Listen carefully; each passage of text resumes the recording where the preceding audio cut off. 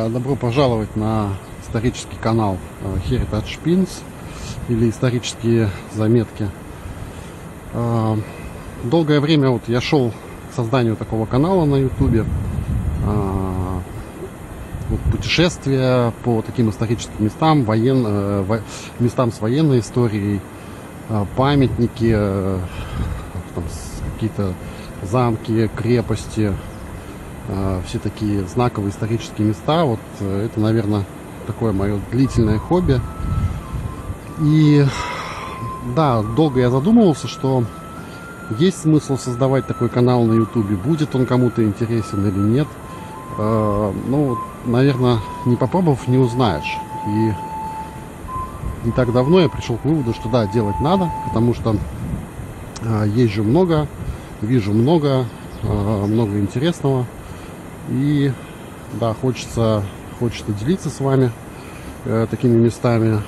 Э, сразу скажу, что я родом из Эстонии, поэтому вот первое время такая львиная доля э, наших вот этих вот исторических заколок, э, как я называю вот такие места, где я бываю, они будут посвящены Эстонии. Вот. Э, на канале вот первое видео уже было сделано. Такое пилот-проект. Э, он такой немножко блинкомом, как, как, как мне кажется, получился. А, но вот надеюсь, что второй будет уже лучше. Э, поэтому вот сегодня приглашаю вас э, в такую часовню. Очень известное такое место в Эстонии. Это часовня Саха. А, находится она недалеко от Таллина, в местечке Саха. Это вот Сахало, Ло, то есть э, со Марду, если вы едете, тут ну, километров 12. И причем э, я сам, сам это место обнаружил совершенно случайно. И я так подозреваю, что вот, э, кто живет в Эстонии, в Таллине, вообще немногие знают о таком месте, что оно вот под боком такое интересное, такое древнее. А, ну, что, пойдем посмотрим, что это такое. То есть вот эта часовня. А, вообще, по, по легенде, здесь вот именно на этом холме раньше было такое а, языческое место среди, у древних эстонцев. А, и потом вот именно на этом холме, на пригорке, появилась такая часовня. А, но предыстория такова, что это, ну, говорит, что это легенда, то есть как вот ее построили. А, значит, вот, судя по всему, что той стороне Таллинский залив. И там три купца на корабле терпели кораблекрушение, а, совершенно отчаялись спастись, выжить. И в самый такой тяжелый момент они увидели с корабля а, высокий берег, очень высокое дерево, растущее на, а, этом, на, на берегу, на холме. И эти три купца поклялись, что если они выживут, то обязательно построят часовню на этом холме. Но вот если верить этой легенде, эти три купца выжили и возвели на этом месте такую часовню. А теперь уже достоверная информация. То есть вот сейчас мы видим, что часовня это построена из, из известняка, из плетника. Но первоначально она была деревянная. И построена она была по преданию даже на 50 лет старше, чем начался строиться Таллин. То есть вот это вот место, это часовня э, старше Таллина на 50 лет. А, значит, первоначально, как я уже говорил, часовня была деревянная, и она сгорела во время восстания Юрьевой ночи в 1223 году. И потом на этом же месте была возведена уже часовня из камня, построена она была в 15 веке. И к концу 18 века часовня обветшала, местами обвалилась. И вот именно вот в таком вот виде, как мы ее видим, а, она была восстановлена лишь э, в 80-х годах прошлого века.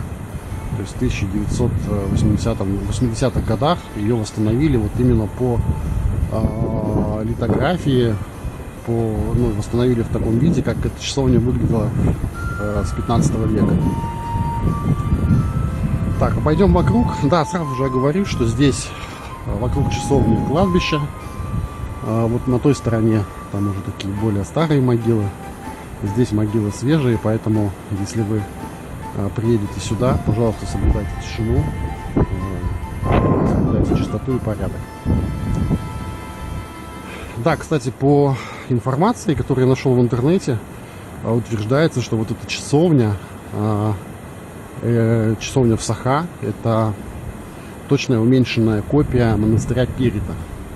Ну, так как от Пирита остались одни развалины, несложно тут утверждать, так ли это или нет. Ну, возможно, да, какое-то сходство есть. Так, ну вот здесь такие, наверное, самые старые могилы на этом, клад... Э, на этом кладбище. Видите, еще такие круглые, круглые кресты каменные кресты. Видно, что они очень старые, очень древние. Я даже не могу э, разобрать даты, которые здесь высечены. Ну вот, по-моему, 1811 год. Представляете, то есть две, больше 200 лет назад. Здесь еще что-то читается, здесь не видно совсем ничего. Итак, Давайте обойдем вокруг. Здесь вот каменная известняковая постройка. Каменные рамы, такие очень архаичные. Прям так веет от них стариной, черепичная крыша. Так, вот это южная стена. Южная стена часовни. Здесь есть портал. А, то есть, да, сюда можно войти внутрь, посмотреть именно интерьер этой часовни. Но чуть попозже. Давайте обойдем вокруг. Да, в часовне два портала. Вот один южный, запасной. Да, вот такой портал здесь есть на западной стене. Да, кстати, вот тоже по информации, которую я нашел в интернете, вот эта вот ниша довольно-таки уникальная.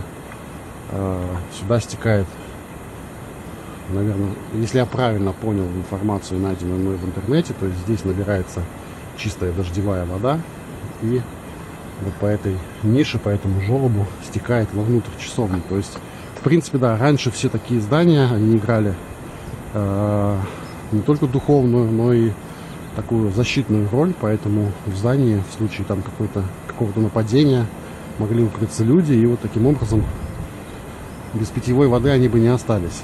Ну вот такая вот башенка винтовая, она тоже говорит о том, что часовня имеет такое оборонительное значение.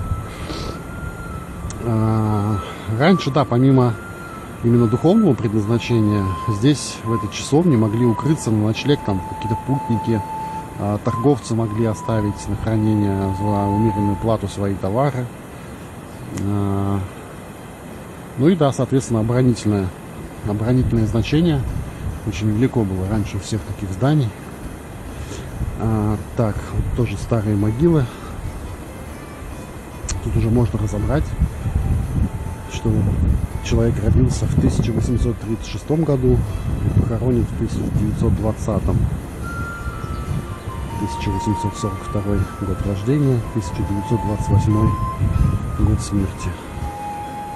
А ну, здесь без таблички крест. То есть, ну, тоже без малого 100 лет могилам старое кладбище. И вот здесь, если пройти сюда, то отсюда, наверное, такой самый, самый, самый отличный вид панорамный на эту часовню. То есть немножечко тут зайду в заросли. Вот. Как-то так это все выглядит. Очень классно, очень архаично.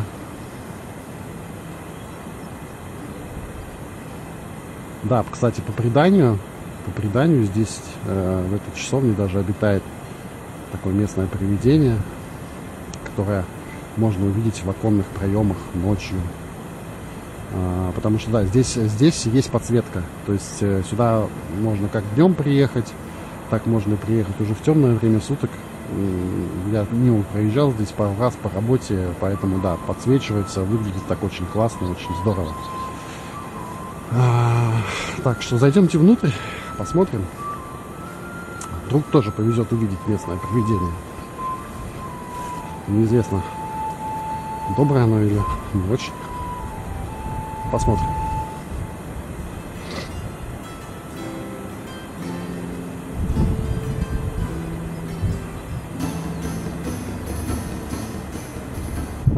Так, ну вот, как я уже говорил, южный портал. Он всегда открыт, можно сюда зайти. Тоже соблюдаем тишину. Ой, какая тут акустика сразу же. Так, ну вот, значит, односводчатая арка. Все, все древнее.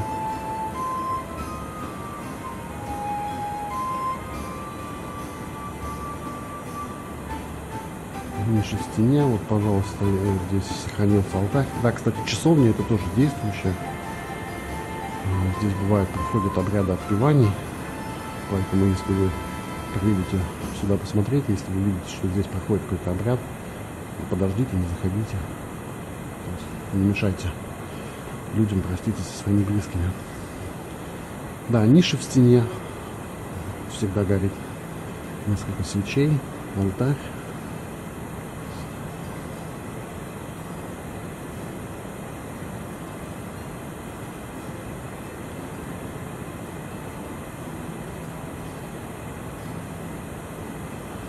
Ну что, попробуем зайти тогда, подняться по винтовой лестнице, винтовую башенку. Ну и смотрим, может быть повезет увидеть привидение.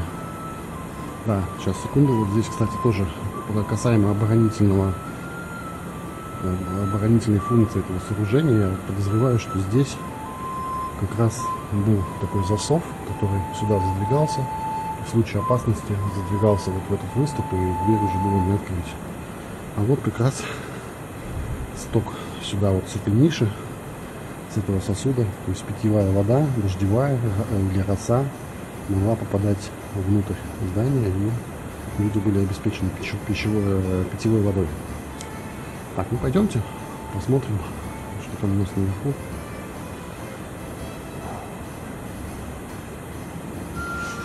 Ступеньки довольно крутые. Поэтому девочкам на каблуках сюда подниматься не рекомендуется. Вот это получается мы внутри винтовой башенки. Такая больница. Выше еще одна. И вот туда, в самый верх. Ну, туда, конечно, не попасть. Но... Винтовая узкая лестница.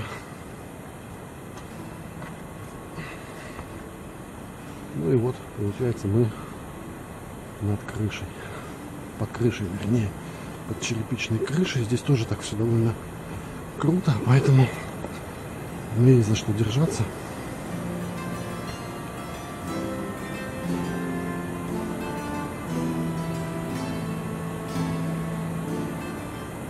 Вот, я, кстати, для меня было прямо первый раз очень удивился, когда сюда попал что оказывается вот черепичная крыша, она просвечивается солнцем изнутри.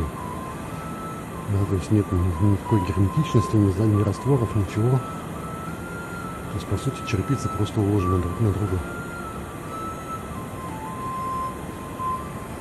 Ну, вот такой интерьер. Тут, наверное, раньше это использовалось как складские помещения.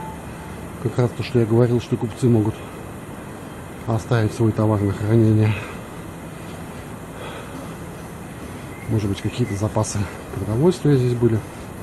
Да, спускаемся тоже очень аккуратно. Потому что, кстати, да, спускаться сложнее, чем подниматься. Так, ну, все хорошо, аккуратненько, не спеша. Спускаемся вниз, да, тоже можно смотреть вниз, больницу.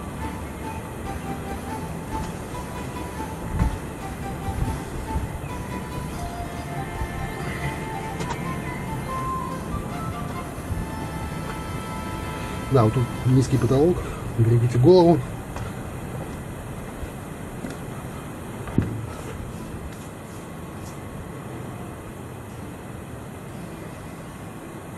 местные жители летают внутри.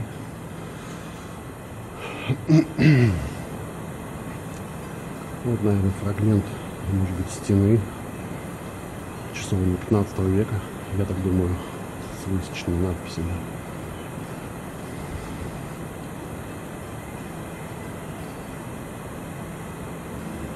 Ну, вот такое место, оказывается, у нас есть э, рядом с Марду, недалеко от Таллина. Даже уверен, что мало кто о нем знает.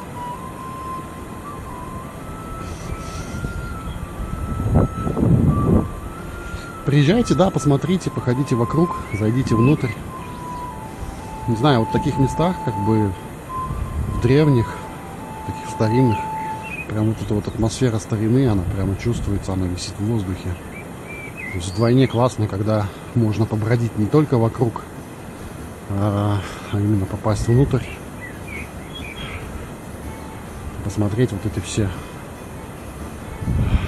нюансы постройки, то есть вот, как строили раньше, каменная постройка, черепичная крыша.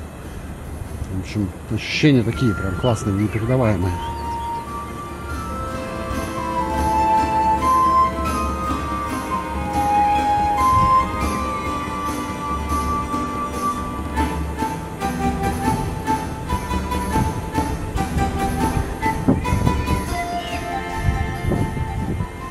Хорошо, что сегодня погодка, кстати, не подкачала. Довольно солнечно. Ну, вот сейчас еще посмотрим отсюда, с этой, с этой точки.